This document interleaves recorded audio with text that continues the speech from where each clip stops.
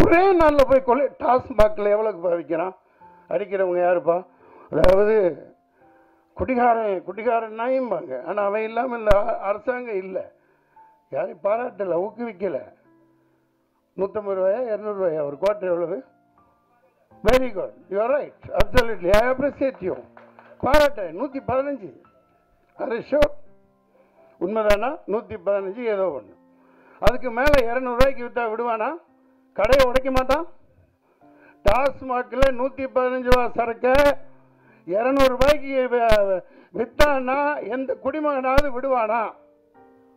அதே மாதிரி நான் திரையரங்கு எந்த திரையரங்கு நூற்றி அறுபது ரூபாய்க்கு மேலே டிக்கெட் வாங்கினானோ பேலஸாக இருந்துட்டாலும் சரி பல்லாவரத்தில் இருக்கிற வெற்றியாக இருந்தாலும் சரி சேலமாக இருந்தாலும் சரி double nine six two zero one triple five nine எழுதிக்கிங்க.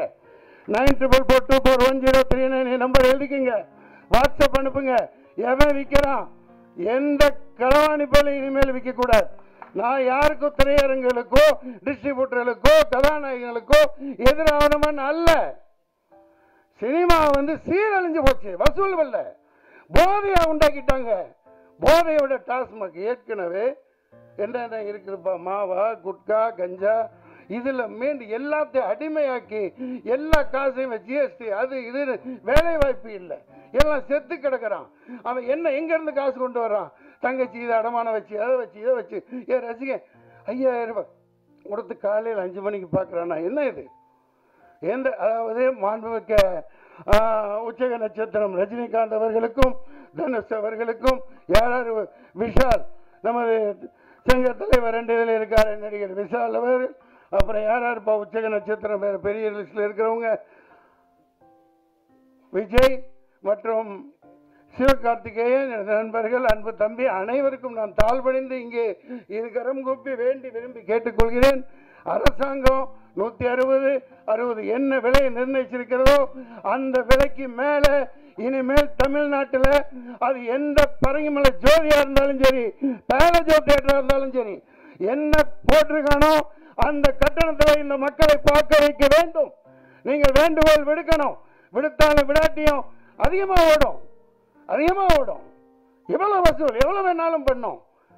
மக்கள் நின்று பார்ப்பாங்களா இல்லையா? இப்போ ஐயாயிரம் ரூபாய் கொடுத்து ரெண்டாயிரம் ரூபாய் கொடுத்து ஆயிரம் ரூபாய் கொடுத்து. பார்த்துட்டு போனா நல்லா இல்லாட்டி இவனுக்கு தான் ரிவீல் அடிப்பாங்க. ஏதோ அவ்வளோ பணத்தை கொண்டே கொடுத்து என்னடா தேனும் பானம் விழுகுது சினிமா சினிமா இஸ் சினிமா. எங்க கழட்டி வந்தோமா செருப்பாங்க கழட்டி விட்டு வீட்டுக்குள்ள போங்க.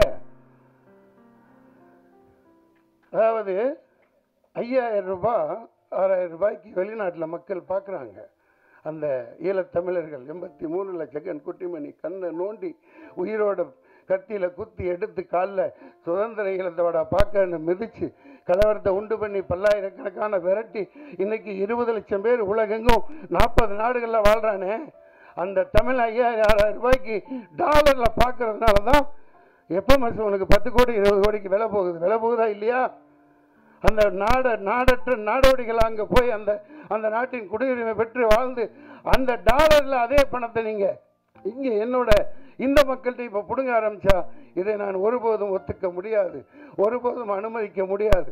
சினிமாவை வாழ வைக்கணும்னா சினிமாவை வாழ வைக்கணும்னா அந்த விலைக்கு மேலே அரசாங்கமே தடுத்தாலும் அதிகமாக வாங்கிக்கணும். முதல்ல அந்த அரசாங்கத்தை உதப்பேன். அடி உத உதவுற மாதிரி எதுவும் உதவாது. இன்னைக்கு நான் சேலஞ்ச் பண்ணுறேன் எப்போ போடுறேன் மோட்டோ என்ன? இதனால கைது பண்ணுறேன் போட்டு முதல்ல அடி கை இருக்காது கால் இருக்காது.